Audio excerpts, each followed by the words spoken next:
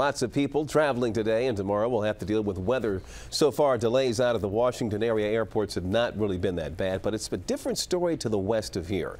Tom Roussey's live at Reagan National Airport with an update for us on that. Tom?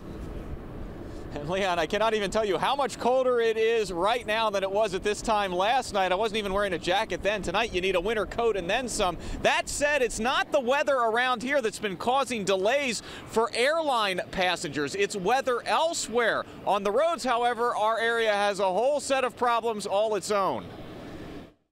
It's it's bad. this was I-95 in Howard County tonight, bumper to bumper in both directions. One family was trying to get home to New Jersey after a trip south. Going down wasn't so bad, but coming back is brutal. Yeah, it's getting there. It's time to start thinking about changing.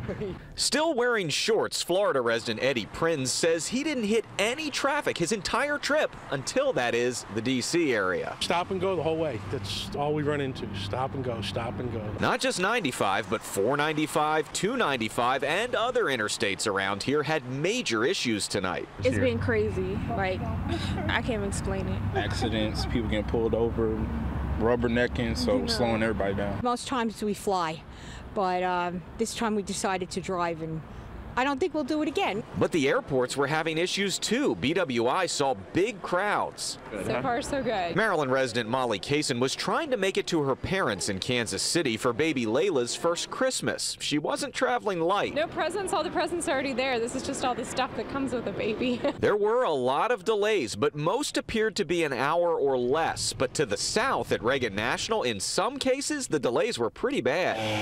A big ice storm that's hit Michigan, upstate New York, York and New England is complicating things. It also didn't help travelers to Detroit earlier today when this plane slid off the taxiway. No one was hurt.